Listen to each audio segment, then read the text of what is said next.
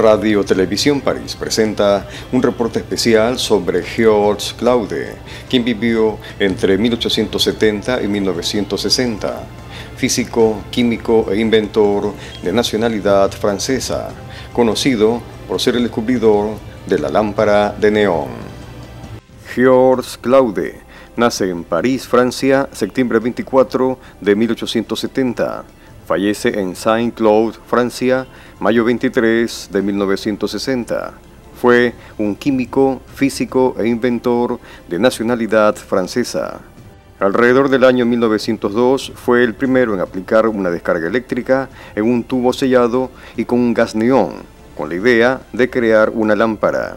Inspirado en parte por la invención de Daniel McFarland Moore, la lámpara de Moore, Claude inventó la lámpara de neón mediante la descarga eléctrica de un gas inerte, comprobando que el brillo era inmenso. Es considerado el Thomas Edison de Francia. Realizó investigaciones sobre un grupo de gases que integraban el neón, el criptón y el xenón, que junto con el helio y el argón se denominaron gases inertes o nobles demostró que al aplicar descargas eléctricas dentro de un tubo de vidrio que contuviera gases nobles se podía producir luz.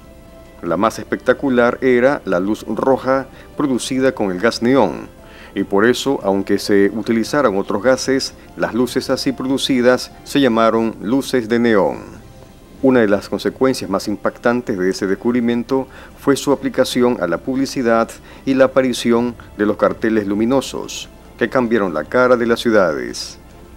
Este descubrimiento fue también el antecedente de la luz fluorescente, que reemplazó a las lámparas incandescentes, primero en las industrias y más tarde en muchos usos familiares. George Claude, otro trotamundo más de nuestro maravilloso planeta, quien, con su portación de las luces de neón, cambió radicalmente la publicidad lumínica.